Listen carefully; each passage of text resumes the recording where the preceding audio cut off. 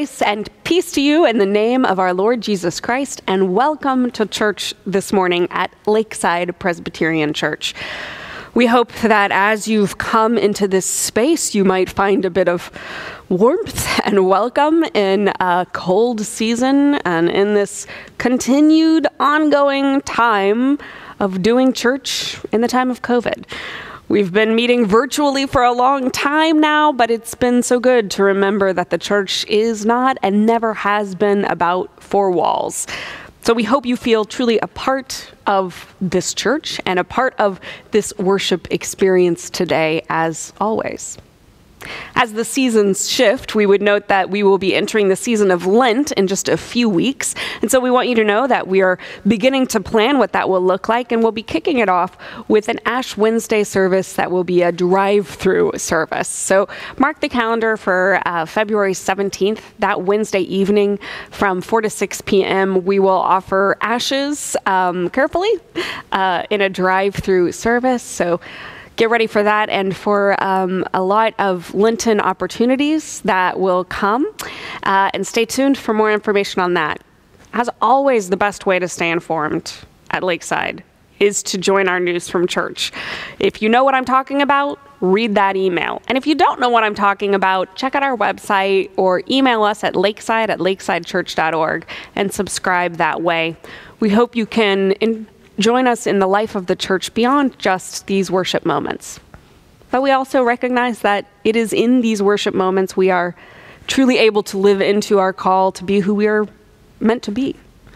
So let us embrace that time, this moment, this opportunity to stop, to breathe, to be, and to turn to God in worship.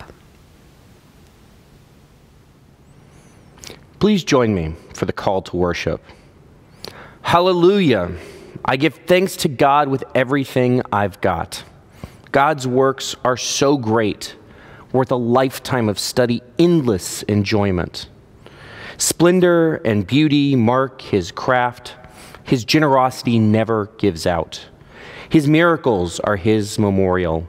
This God of grace, this God of love. Come, Let's give thanks to God with everything we've got.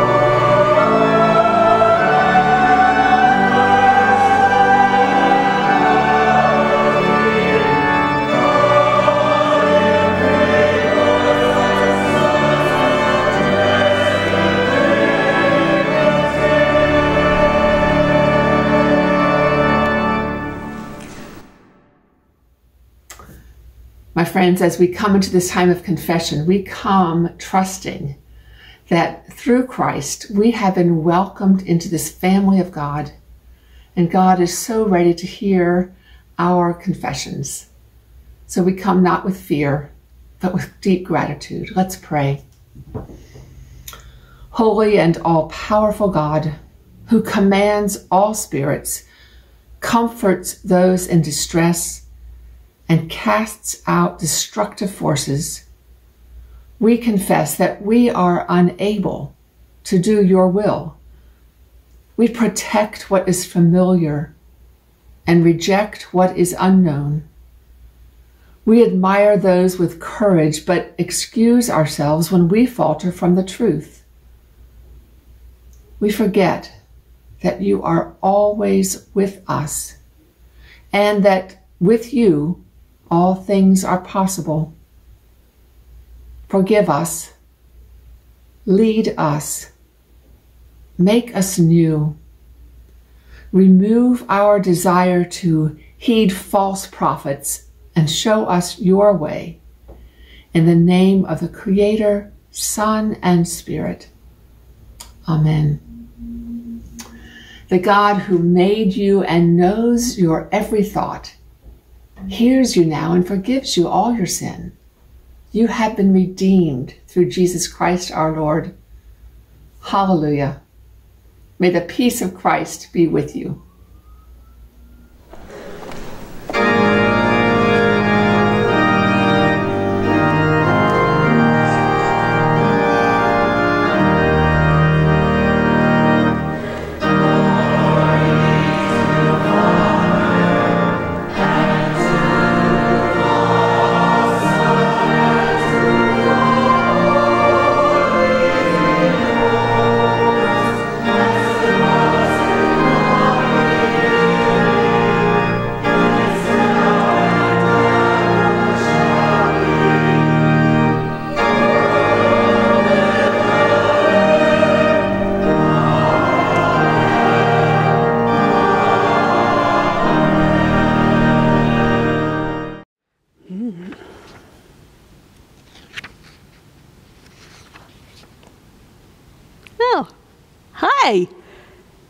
Was just looking through this to remember what we talked about about Jesus last week and what we're going to talk about today.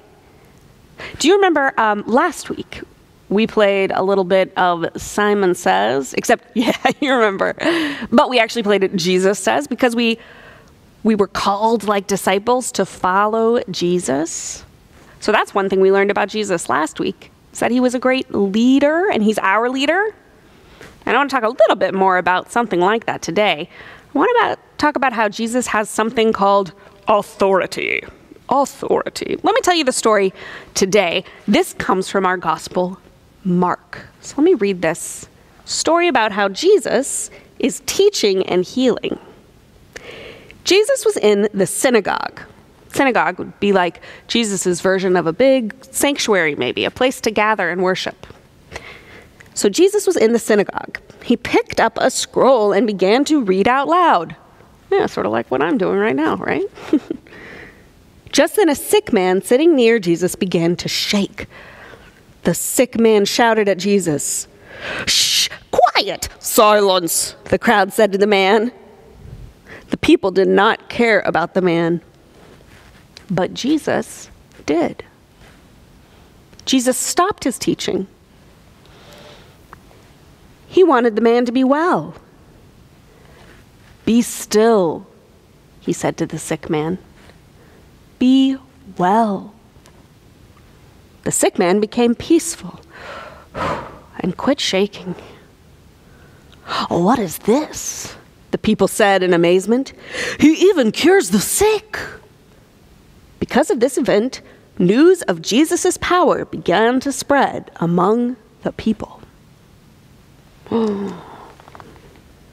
now, in one of the translations we have of this story that we'll hear read today, the people who are so impressed by Jesus in this story say, This is one with authority.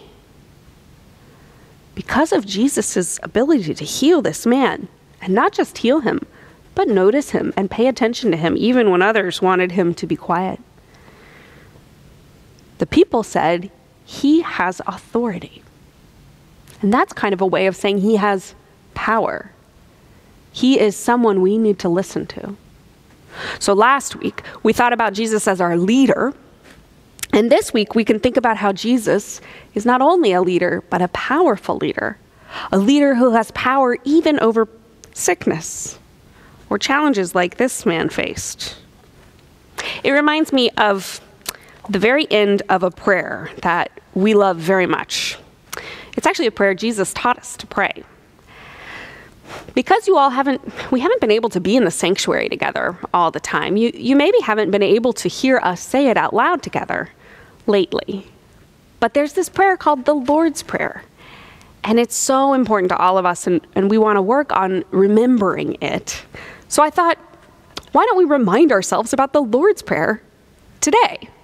Uh, so, will you join me in this prayer? And you can just repeat after me. And I want you to really listen to the very last line. Okay?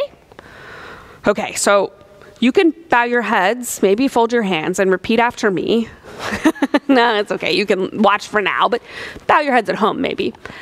Okay, it goes Our Father, who art in heaven, hallowed be thy name.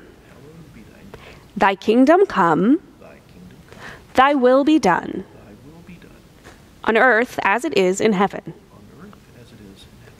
Give us this day our daily bread. And lead us not into temptation, but deliver us from evil. Now listen to this last line. For thine is the kingdom, and the power, and the glory forever. Amen. I skipped a line in there. Did you notice? well, good. I'm glad you didn't. Maybe your parents did. That's okay.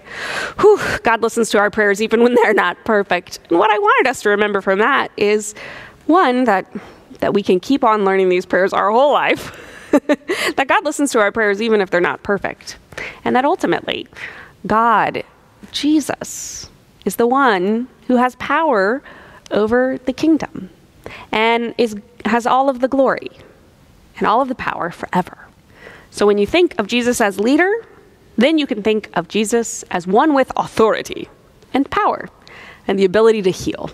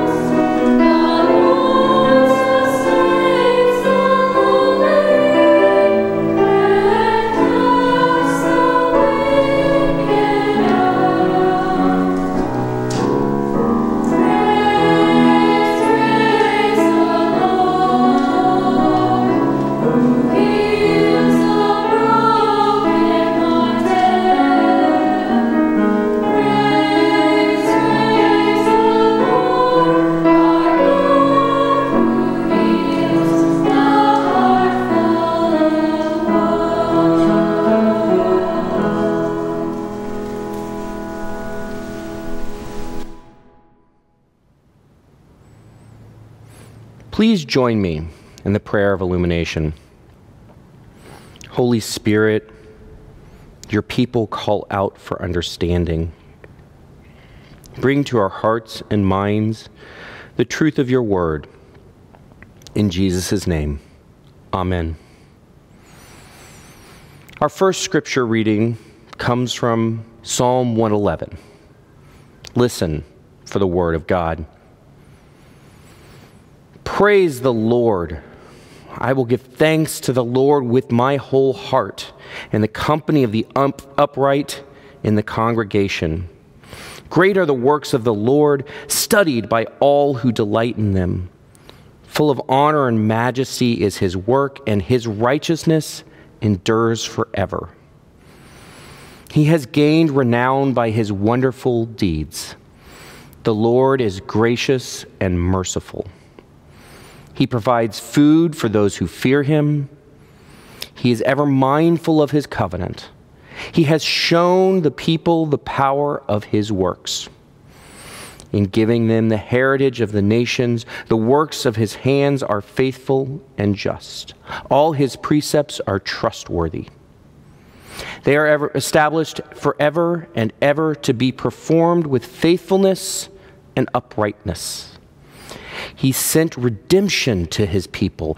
He has commanded his covenant forever. Holy and awesome is his name. The fear of the Lord is the beginning of wisdom. All those who practice it have good understanding. His praise endures forever. Our gospel reading is from the book of Mark, chapter 1, 21 through 28. As we heard last week, Jesus had begun gathering his followers. And on the Sabbath, being a faithful Jew, he and his disciples head off to the synagogue. Listen for the word of God.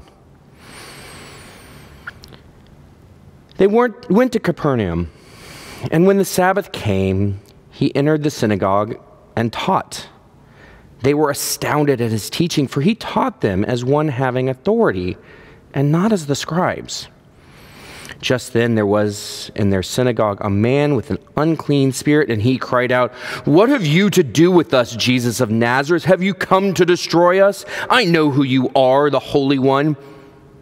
But Jesus rebuked him, saying, Be silent and come out of him. And the unclean spirit, convulsing him and crying with a loud voice, came out of him.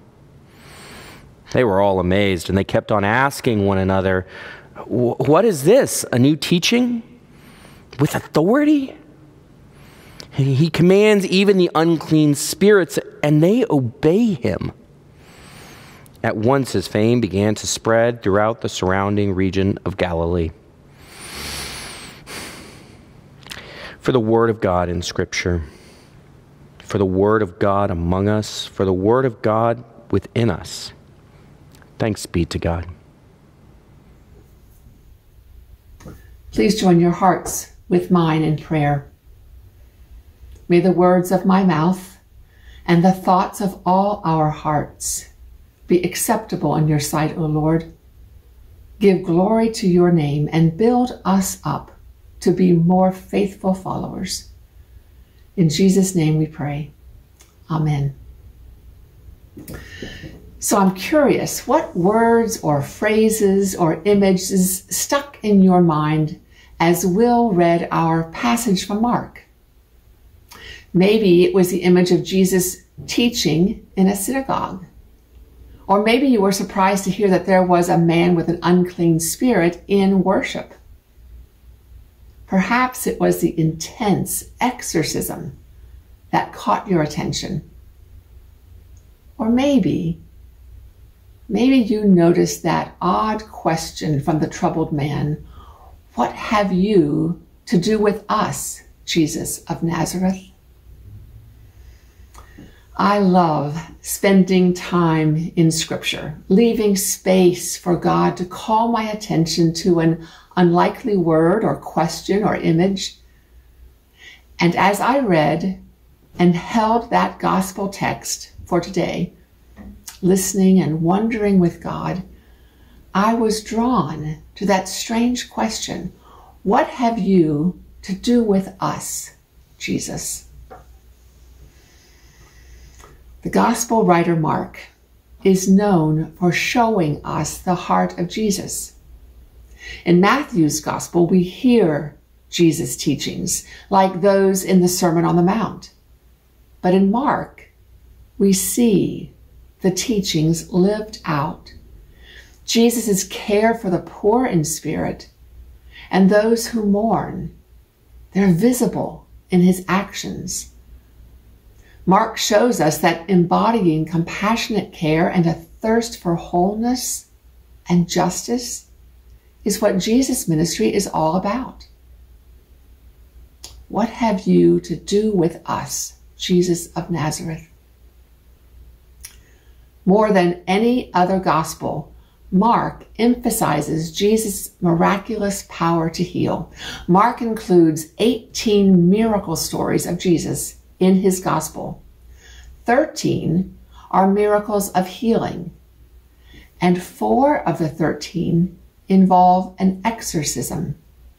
The one in need of healing is often described as having an unclean spirit, which in biblical times could describe someone suffering from mental or physical or emotional illness, but it could also mean having an impure heart, someone whose actions or thoughts are contrary to the sacred. Mark tells us that Jesus, after gathering followers from the lakeshore, arrives in Capernaum, and on the Sabbath, he goes to the synagogue and teaches. And worshippers are astounded at his teaching because he taught as one having authority. And when a man suffering from some unnamed condition interrupts his teaching Jesus doesn't motion to his followers to quickly remove the distraction. He doesn't make fun of the man's afflictions or berate him. He sees the man as one in need, one of his family, an outcast, overlooked, shunned perhaps. And Jesus' words, be silent, are effective and they bring about powerful transformation. Just as in Genesis, when God speaks and things happen, Jesus also has the power to speak words that bring about action. And Jesus' compassion and his words bring life to the tormented man. And those in the synagogue witnessing that healing, they're amazed at his authority. And Mark reports that at once, immediately, his fame began to spread throughout the surrounding region of Galilee. And I continue to be captivated by the words, What have you to do with us, Jesus of Nazareth? Have you come to destroy us? I know who you are, the Holy One of God. Now, on the surface, the man's question seems rather understandable. Certainly, the Holy One of God would want nothing to do with someone regarded as broken or worthless or disturbed. But in Mark, we clearly see that unspoken answer. Jesus has not come to destroy or dismiss broken people. He's come to bring life, even life abundant. And that's the message of the gospel. And yet, still today, people ask, What have you to do with us? Aren't you going to divert your eyes too? Declare that we are unworthy, undeserving, beyond redemption? I wonder who are the people you would put on that list, not worth the time or effort? Mm, can you think of the folks you would name? Or maybe you are the one who struggles with self worth Let me share two stories with you this morning. Stories that grow out of this odd question What have you to do with us, Jesus? Stories lived out in real time, in our time. While on sabbatical in 2011, Craig and I had the delight of joining in with the Bread Church ministry in Liverpool, England. The Bread Church is also known as Somewhere Else, and it was founded by the Methodist minister Barbara Glasson, who was assigned to pastor an inner city neighborhood without having a building. And for two years, she walked through the streets in her parish, talking to people, getting to know the regulars on the street, listening to their stories. And after two years, Barbara requested that the Methodist Diocese rent a space above a bookstore on Bold Street for church. Now, Bold Street, think um, Madison Avenue or MainStrasse about 30 or 40 years ago in northern Kentucky. That's the street she was going to house a church. And now, years later, Barbara Glasson writes, Bread is full of wonder and so is the church of which I am a part. This community is working out what it means to be a Christian community around the making, shaping, and sharing of bread. Let me read a bit from my journal post back from June of 2011. Once upstairs in the bread church, Craig and I met one other American, Timothy, a minister in the Reformed Church of America from Memphis who was serving as a street minister in Liverpool. There were several street kids who we could tell were regulars, as well as a couple who were guides for a group of eight women visiting from Malawi. There was also a Jesuit named Robert from Germany who was trying to figure out what God would have him do next in life and we met an incredibly frail man named Steve who lived on the streets and who helped lead worship the day we were there. And then there was Len, a man in his 60s who regularly brings Andrew, a young man with Down syndrome. Peter was from Hungary and had suffered political oppression in Romania and who wept openly when he shared his story. The routine at the bread church is simple. We gather, everyone makes two loaves of bread, one to keep and one to give as you are led. Because for someone who is homeless or without money, it's a powerful thing for them to be able to give a gift of bread to someone else. As we sit at table, we hear scripture, we have discussion and prayer, and then we enjoyed lunch all together, all of us, broken, wounded people, welcomed, seen, and loved. What have you to do with us, Jesus of Nazareth? Barbara Glasson finishes the story. She says, After cleaning up, our bakers wander out into the street and mingle anonymously with the crowd they will become invisible again and be the people they are called to be in the context in which they live.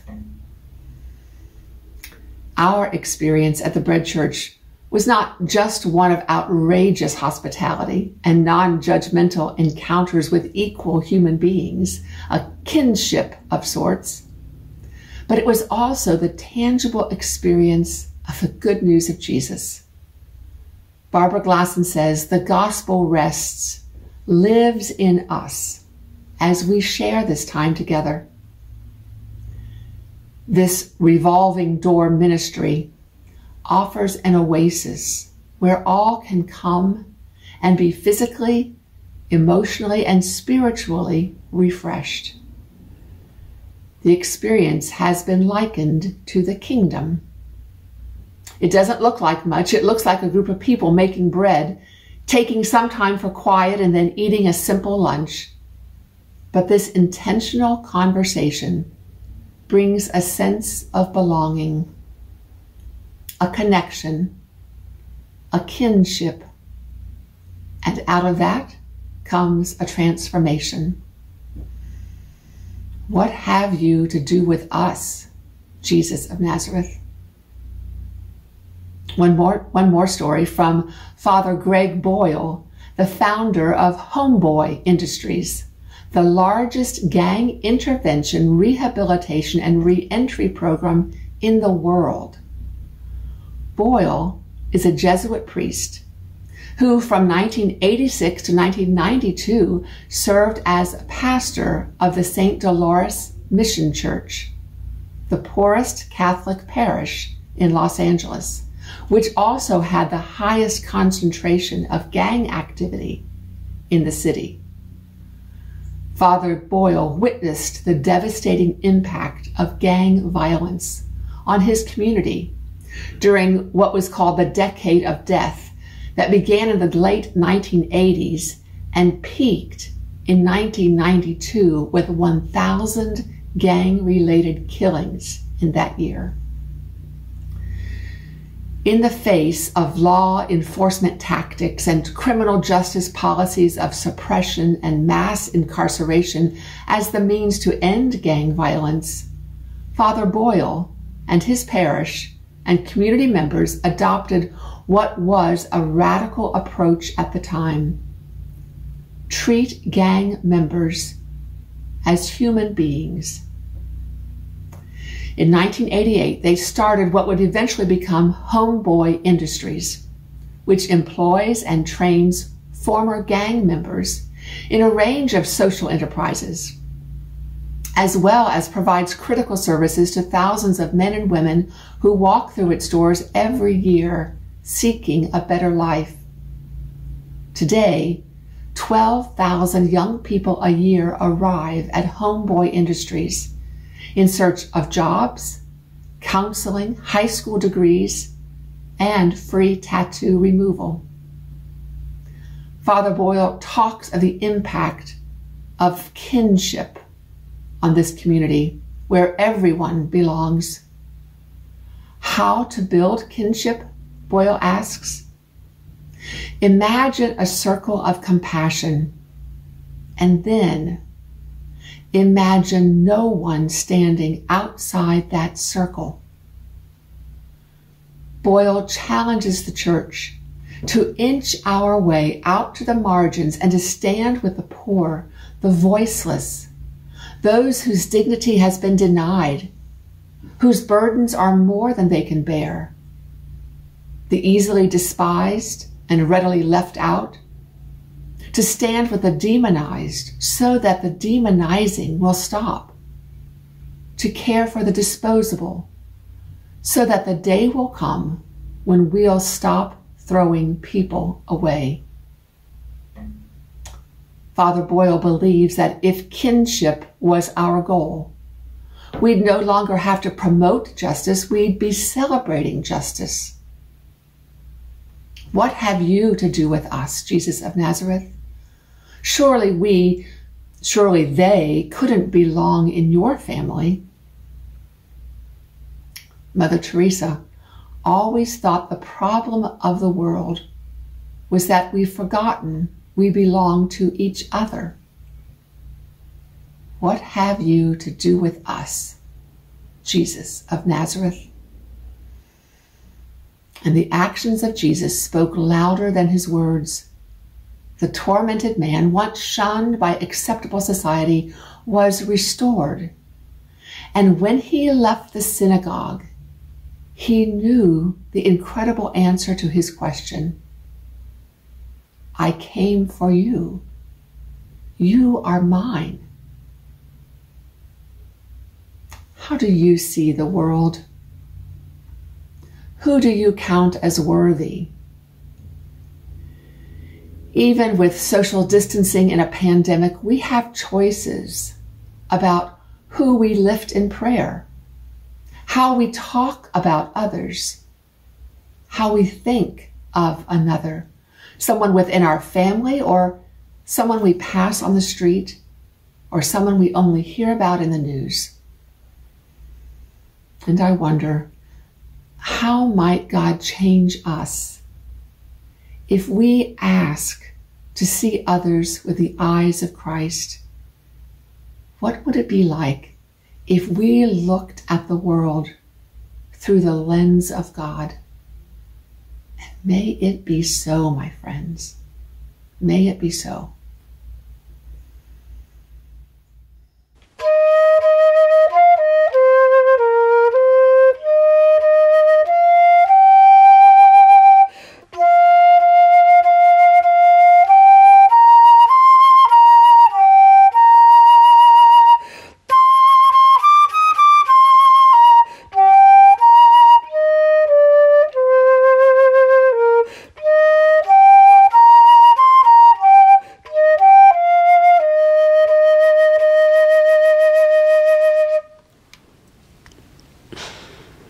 We turn to God in prayer, I would remind you, as ever, that we have a number of people listed uh, in, as in need of prayer, and uh, those names are a part of your news from church and on our website under Congregant Corner. And we list those uh, because we hope you'll incorporate them into your regular prayer life. Among the people in that list right now, we are continuing to pray for the family and all those who mourn the loss of Bill Love. We uh, celebrated his funeral yesterday, and we'll continue to keep his wife Joanne and uh, his family and all the many who appreciate his legacy in our prayers. As we turn to this prayer, I invite you to join me in the litany of thanksgiving if you know the words. And if you do not, allow me to say them for you. The Lord be with you and also with you. Lift up your hearts. We lift them to the Lord. Let us give thanks to the Lord our God. It is right to give our thanks and praise. O God of grace, it is so right and good to give you our thanks and our praise. You come into our midst with power and with authority. Your power offers liberation to us from anything that keep us from the fullness of life you desire for us and that you desire for all of your children that you desire for the earth itself. Oh God, help us to be open to your presence, even if it means facing difficult circumstances that bind us or keep us from living fully. Help us, God, to name the oppressive realities of our world, realities that often deform or deface human life or the life of our planet. God, empower us to be agents of love, agents of justice, agents of peace in our communities and our world. Eternal God, we ask your blessing on our own nation and community, on our leaders in these days of transition. Give them, give us courage. Help them help us to honor you by doing what is right, fair, and just for all our citizens, and to heal the wounds of a troubled nation.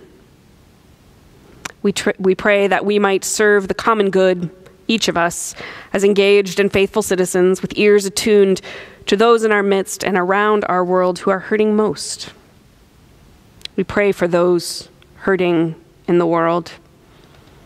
God of compassion, we pray for those whose lives have been most affected by this raging pandemic, for the healthcare workers who work in overcrowded COVID and ICU units throughout our country, for those facilitating vaccinations, for those making difficult decisions, and for those whose day in and day out is difficult beyond the headlines.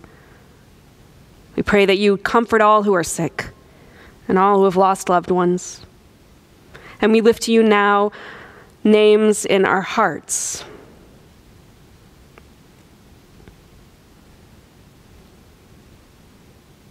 We know that you hear these names, even as you know names we've failed to mention or failed to notice. Oh God, help us to be agents of your love and comfort. We ask all these things in the name of the one who had the authority and the power and chose to use it for love, comfort, peace, and justice. In Jesus' name, amen.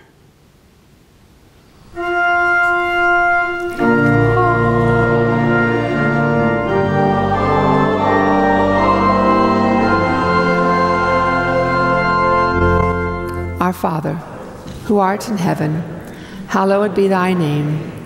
Thy kingdom come, thy will be done, on earth as it is in heaven.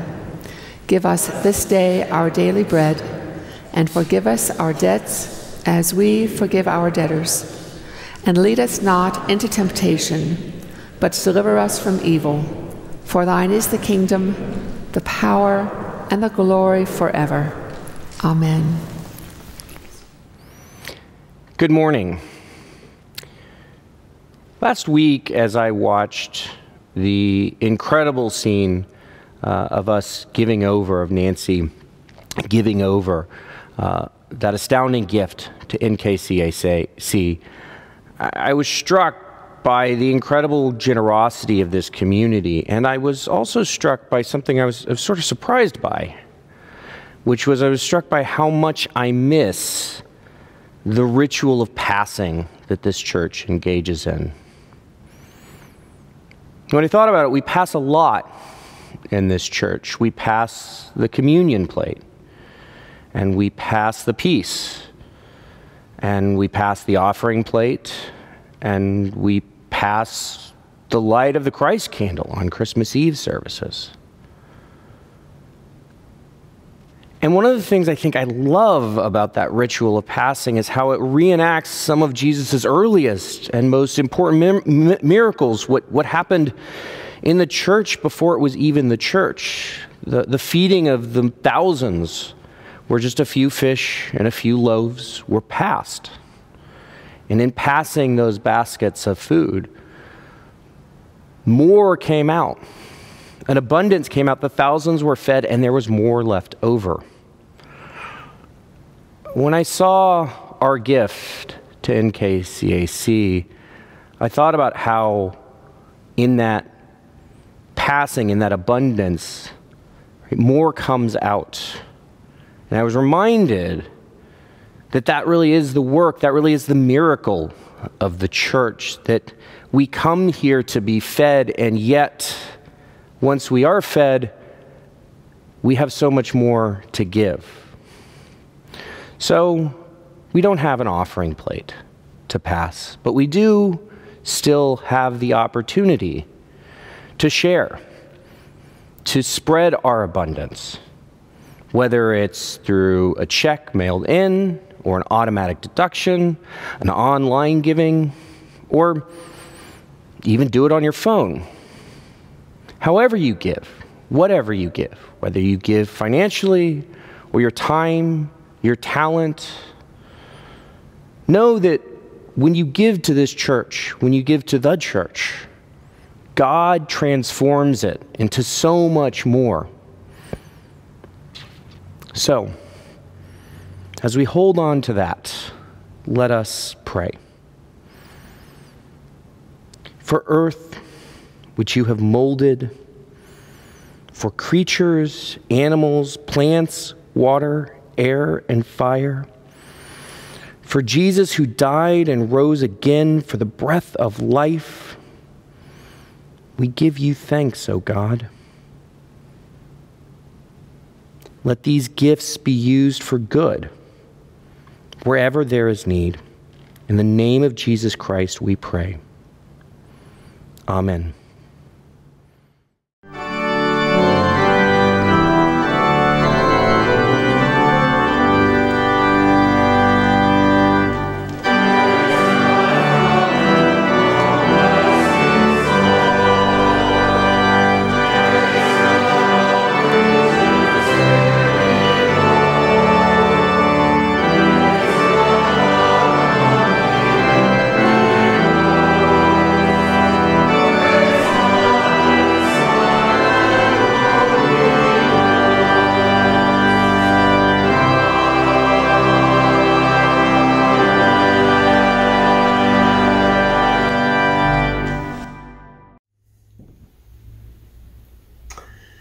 Shall we leave from this time of worship? Go forth into God's world in peace. Be of good courage, hold fast to what is good, and return to no one evil for evil. Strengthen the faint hearted, support the weak, help the afflicted, and honor all people. Love and serve the Lord, rejoicing in the power of the Holy Spirit that is in you. And may the blessing of God, Creator, Son, and Spirit, be in you, move through you this day and the days ahead. Amen.